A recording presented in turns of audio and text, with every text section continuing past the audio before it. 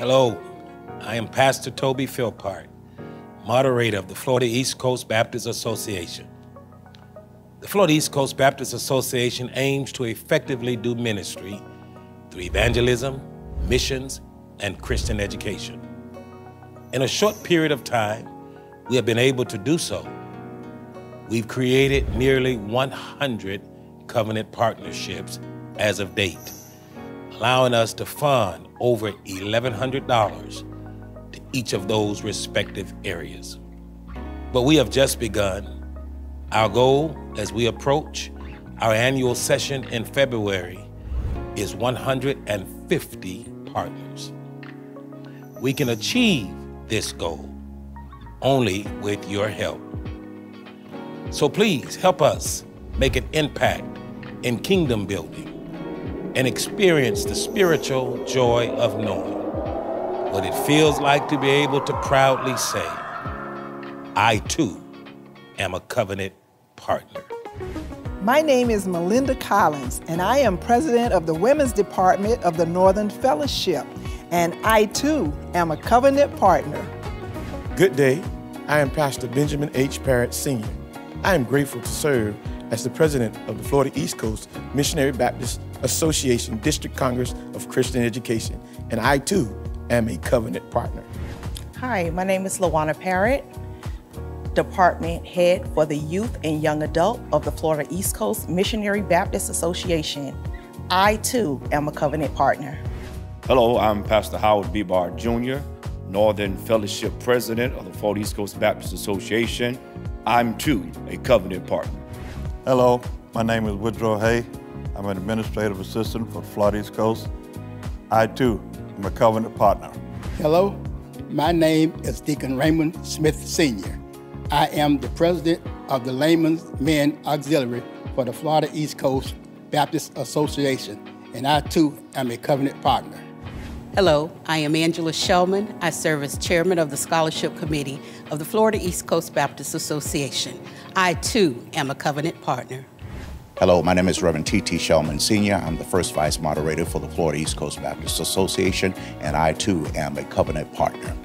Hi, I'm Sister Gloria Jackson Davis. I'm the Women's Auxiliary President of Florida East Coast Baptist Association, and I am a covenant partner.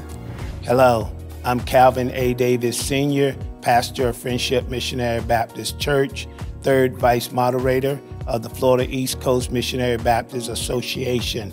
I too am a covenant partner. Hi, I am Pauline Stinson Scott, the president of the Women's Department of the Southern Fellowship. I too am a covenant partner. Hello, my name is Larry Lovett. I am the second vice moderator of the Florida East Coast Association. I too am a covenant partner. Hello, I'm Sanja Philpart. I am a member of the Florida East Coast Baptist Association, and I too am a covenant partner. Hello, my name is Pastor Demetric Ford. I am a vice president of the Northern Fellowship of the Florida East Coast Baptist Association, and I too am a covenant partner. My name is Samilia Shellman and I represent the Florida East Coast Baptist Association as the Junior Red Circle President of the Florida General Baptist Convention, and I too one day will be a covenant partner.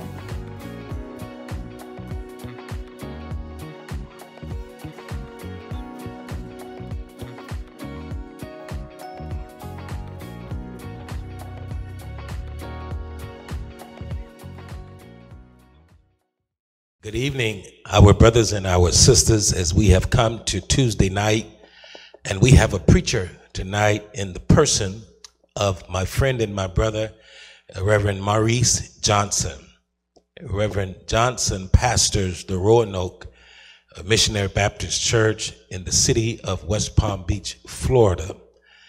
And he would have us to know that he solicits our prayers as he is presently matriculating, working on his master's degree in divinity. Dr. Johnson is a friend and the brother of mine, and he is a longtime uh, friend and brother and a member of our great association, along with the good people of Roanoke. The late, great Reverend Dr. Arthur Jackson Jr. would often say on a night like tonight, Tuesday night is a mighty good night. You don't have to wait till Sunday morning to get to know Jesus Christ as your Lord and Savior. Pastor Jackson would say so frequently, somebody got saved on a Tuesday night. So, brothers and sisters, come now and prepare your hearts and minds to hear this preacher from Preacherville in the person of Reverend Dr. Maurice Johnson. God bless you, Dr. Johnson. God bless you, Florida East Coast. When we come against situations in our life, we must remember to first pray yeah. and ask God to deliver us. Yeah. That's what's so important. And not only should we pray that He deliver us, but not just from circumstances and situations, but we got to narrow that thing down too because sometimes we're our own enemy. Yes. We're our own enemy. And what we need to do is ask God, Lord, even deliver me yes. from myself. Yes. Unforgiveness, whatever it is that keeps us from moving forward. Lord, deliver me.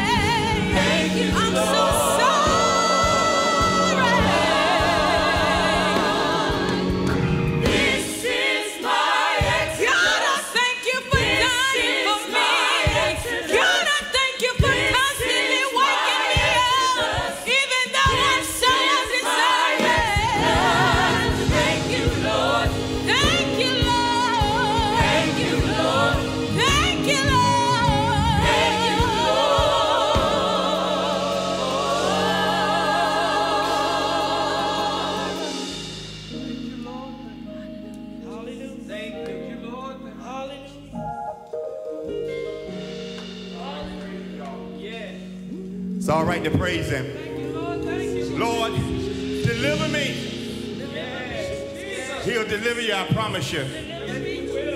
Seek the kingdom of God first, and all His righteousness will be added unto you. This is.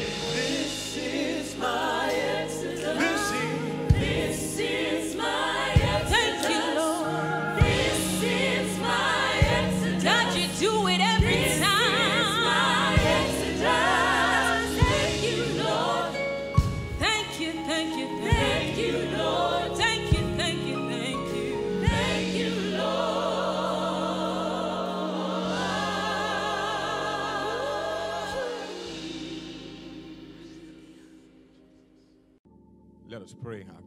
Father. We come before you this worship experience. Come asking that you would use us for your glory and for the good of your people. Speak to our hearts, Lord Jesus, and give us the word that will bring light to dark situations. Give me strength. Anoint me afresh. Now, God, let the words of my mouth and the meditation of my heart be acceptable in thy sight, O Lord, my strength and my redeemer. And we count it as done in Jesus' name. Amen. There is a word from the Lord. Very familiar passage of scripture, and I want to read the first five verses of Psalm 30. Psalm 30, verses 1 through 5. Trust that when you would have found it, you will read along with me.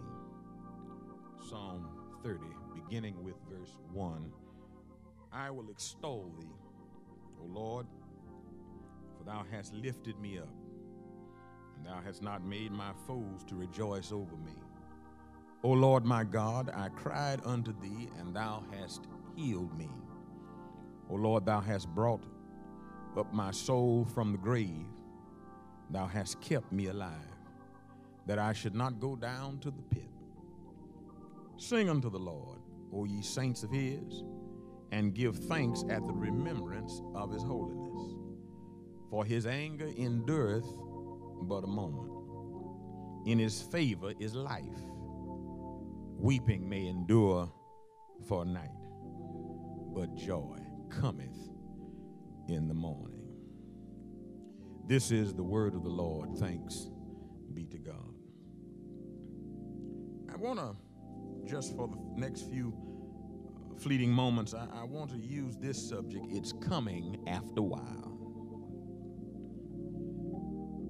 I, I have so many wonderful memories from childhood hanging uh, on the apron strings of my grandmother, following her from place to place, from house to house. She had an knack for visiting her friends at the drop of a dime. Sometimes she would be going to see about a sick friend or relative. Sometimes she would be uh, going just to see how her friend is getting along, just to kind of shoot the breeze and, and enjoy each other's company. There would be times when friends would be experiencing bereavement in their lives, and mother would make sure that she was there uh, just to lend a helping hand. But there's a particular time I remember better than any day that I've ever remembered before of hanging with grandma. We headed over to Miss Fanny's house. And in Miss Fanny's house, uh, this was not the first time I'd been there, but for some reason this day, that grandfather clock that she had that was in the corner of her living room began to fascinate me. I have fond memories of being at Miss Fanny's house. She had model cars on her coffee table, and I would be able to enjoy them by looking at them, but I couldn't touch them. But Miss Fanny's uh, uh, uh, grandfather clock this day stood out to me like never before. I was impressed for about the first two hours of grandma being there with Miss Fanny. And did I tell you she wasn't in a rush? In, in that space of time that we were there, and it seemed like eternity, my attention shifted from uh, the chiming of every passing hour to the faint clicking and clacking of the pendulum that would swing every 60 seconds. It would swing from left to right. It seemed like the longer we stayed, the louder the pendulum would get. I can almost hear it now ticking and talking. I can hear it in my mind right now. Every minute you'd hear that tick and tock. The pendulum would just swing. This time would just go on and on and look like we were there about 18 hours. I'm not sure how long we were there, but, but I could hear that, that, that clock now like it just happened a few moments ago. Tick tock. Every minute, tick tock. I learned something, and what I learned that day is that every moment we live, life's pendulum keeps on moving from left to right. It swings between two extremes. It swings constantly between pain and pleasure, hope and despondency, victory and defeat, joy and sorrow. Job said it like this Man that is born of a woman has but a few days and full of trouble. In the morning, it is like the grass that grows up, that's joy. But in, when the evening comes, it cut down and withers, that's sorrow. Sometimes sorrow becomes so pervasive that, that joy seems to elude the everyday moments of our lives, and tragedy is no longer a strange and peculiar happening. We've been, for the past several months, dealing with a pandemic that we had never seen before. Uh, the only thing close to it happened about 100 years before, and, and there's nobody around to tell us how they made it through. All we've got is a few reports of how they survived and what was done in order to get through that time of, of, of pain and that time of sickness and death. But, but yet, I, I need to let us understand in a hurry that, that you and I don't have any control over how the pendulum swings.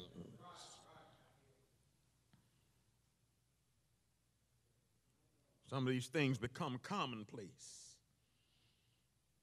If I had time, I, I, I, would, I would really delve deeper into this, but, but I only have so much time to talk to you. And I, I want to tell you that when, when I look at, look at, at, at all that, that goes on in life, the only thing we have going for us is a God who's in charge of it all. This psalm, this psalm, this psalm this psalm that is penned here in Psalm 30 is a psalm of praise. It, it is believed that some kind of, of illness, some kind of sickness had taken hold to uh, David, and, and God delivered him from the grave. He div- delivered him from a life threatening illness. And whatever it was, it, it, it, it was something that only God could handle. And, and because God was good to David, he lived to tell the story.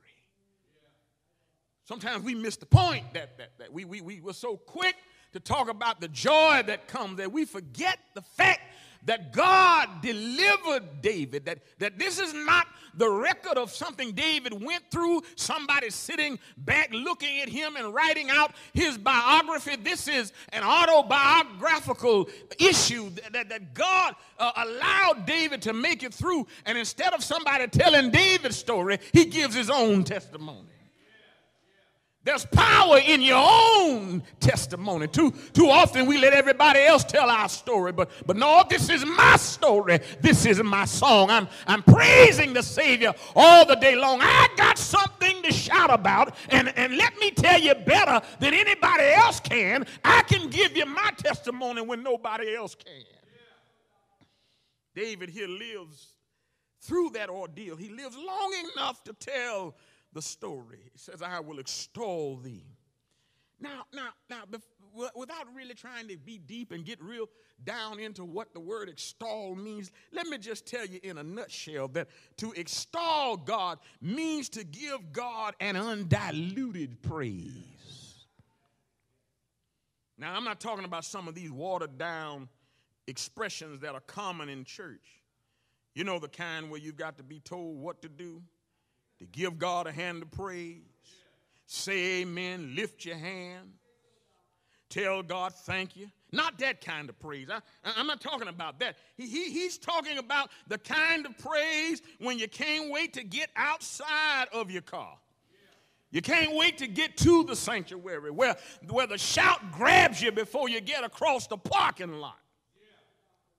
The kind that, as a matter of fact, does not even have anything with, to do with you getting to church. The, the praise actually started when you got up that morning and put on your own clothes, took care of your own uh, hygiene and was able to do things for yourself, sit down at your own breakfast table and make a choice and a decision about what you wanted to eat. You had enough in your refrigerator and in your cupboard that you had a decision to make, that no decision was made for you, that all you had was a bowl of oatmeal. You ate oatmeal because you wanted oatmeal, or you ate cornflakes because you wanted cornflakes. You had bacon and eggs because that's what you wanted to have. God had been so good to us that all that we needed and all that we wanted, the Lord had provided. Those are the kinds of praise that when you start out your day, you're thinking about God and His goodness, and you can't wait to get to church. You started shouting on the highway.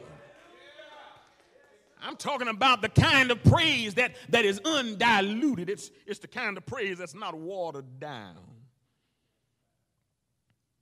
So it's that kind of praise that, that makes you enter into his gates when we can get back into his gates with thanksgiving and into his courts with praise. We come in singing praises. You, you come in thankful and blessing his name. And the only reason you got is that the Lord's been good to you. And matter of fact, that's the only reason you need. When you recognize how good the Lord is and how good the Lord has been, you can't help but give him an undiluted praise. You extol. That's the kind of praise that'll confuse enemies. You don't believe me? Ask Jehoshaphat.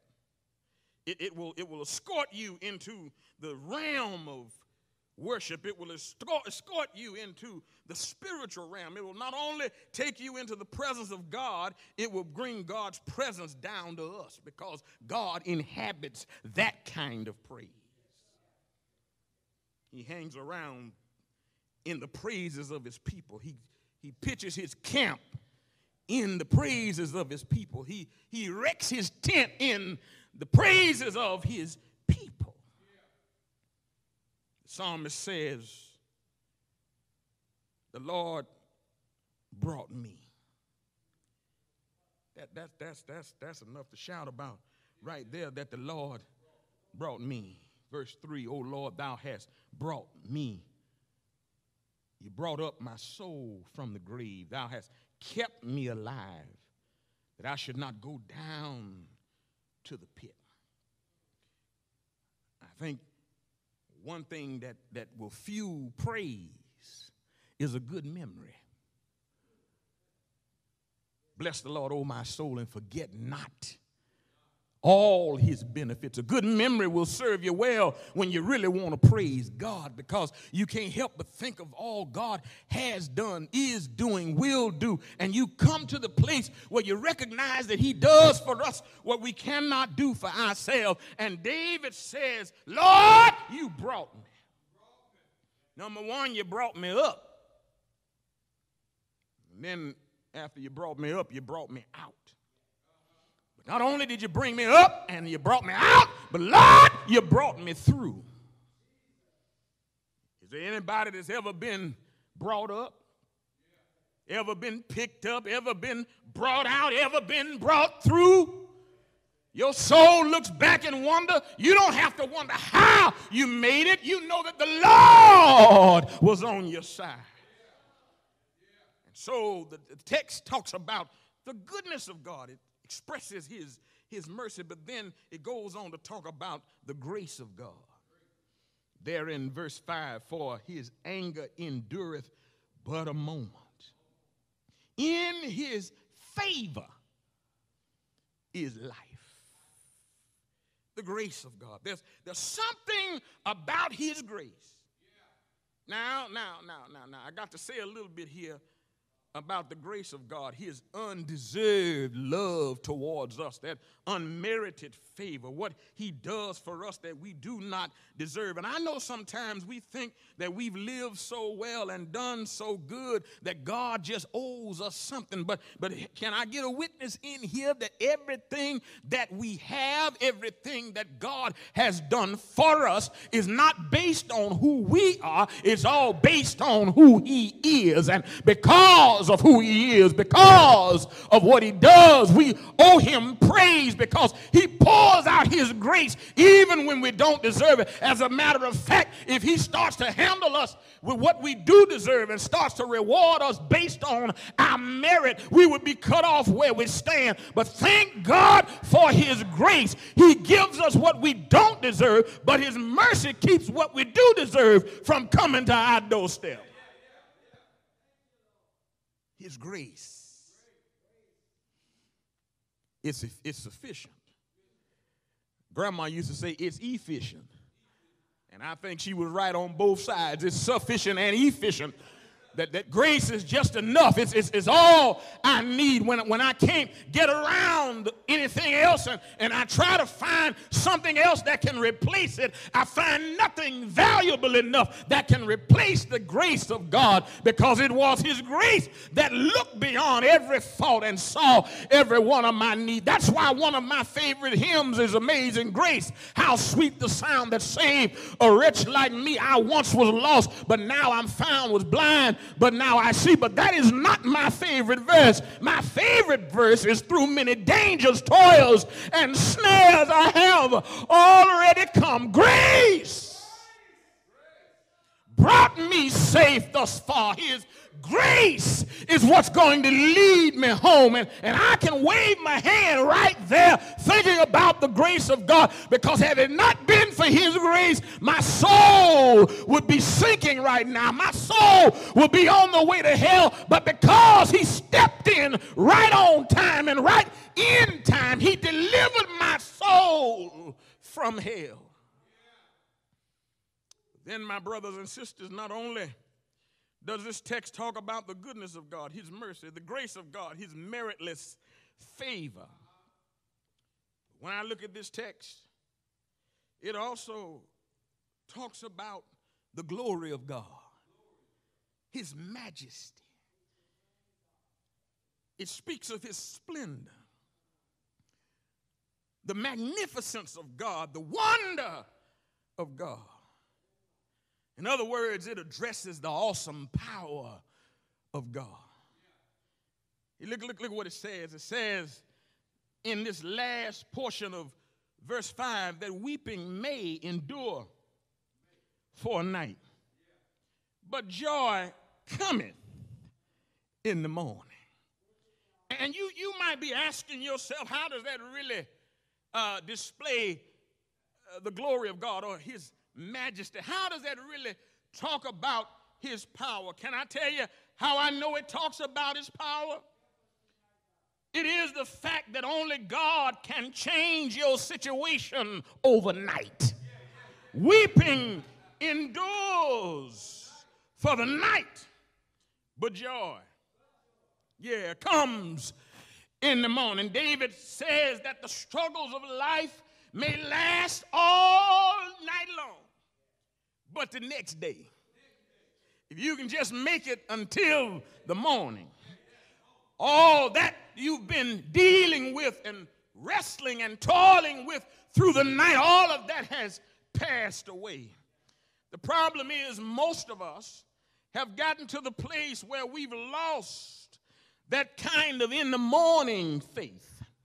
We've lost that in the morning kind of faith. That's, that's the faith that, that looks beyond the present time and is able to see a brighter day coming. It's the kind of faith that, that allows us to look in spite of our situation and see a better tomorrow coming. Jacob had that kind of in the morning faith. Because when I read Genesis chapter 32, Jacob wrestles with that angel all night long. He, he wrestles with the pre incarnate Christ. He struggles all through the night. Can't you see Jacob wrestling and struggling with the Lord. But all, all through the night, they're, they're just going back and forth, using all kinds of measures, using all kinds of holes and locks and, and wrestling techniques. They're going back and forth, just wrestling all night long. And, and, and so as the day starts to break, as, as daybreak is coming, as the sun is about to peep her head over the eastern horizon, I hear, I hear the angel saying to Jacob, let me go. But Jacob said, I will not let go until he bless me. And I don't know who I'm talking to, but, but you need to have that kind of, of in the morning faith, that, that in the morning kind of faith that, that keeps you holding on until the break of day. Jacob, he wrestled with the Lord all through the night, but, but when the morning started to come, when, when day started breaking, when the new day was on the horizon, yeah, that same angel that he's been wrestling with all night long hit Jacob in his thigh. But when he smote him in the thigh, it, it knocked his hip uh, out of joint. And, and when his hip was knocked out of joint, the Bible tells us that uh, Jacob walked differently for the rest of his life. He was limping, but he wasn't broken. He had been bruised, but he wasn't knocked out of the race. Jacob waited and wrestled with the Lord until the day break broke. And I'm glad to tell somebody that if you learn how to hold on through the night, if you got to struggle till the midnight hour, just hang on and hold out. The day will come. Is there anybody here that know the Lord will show up at the break of day? So if you're going through your troubles and going through your trials and it seems like you can't make it through the night, I got only one nugget of advice for you. Just hold on and hang on. God will make the difference in your life if you can just hold on and hang on. Better days are coming after a while if you can just hang on and hold on. If weeping shows up at your house, don't tell weeping to leave. Invite weeping on in. But if he comes with a whole lot of luggage, tell him to leave his bags on the outside. All you can come in with is an overnight bag because you got a time frame that you can hang in my house. Your time here is only temporary. Weeping, come on in, but you can't hang but so long. I got company coming in the morning. Is there anybody in here that knows what I'm talking about? Weeping may endure for the night, but joy comes in the morning. And myself. I'm glad that I know God will show up and show out. I'm glad that I've had an experience with the Lord. I'm going to Mesita. Done got happy, y'all. But those of you who are dealing in your midnights now, dealing in your nighttime situation, hold on just a little while. God will make a way for you. Is there anybody in the room knows what I'm talking about? Be not dismayed, whatever betide. God will take care of you. Beneath his wings of love abide. God will take care of you no matter what may be the test. God will take care of you. Lean weary one upon his breast. God will. Yeah! Yes, he will. He'll take care of you. Won't he do it? Won't he do it? Ah, yeah! Yeah!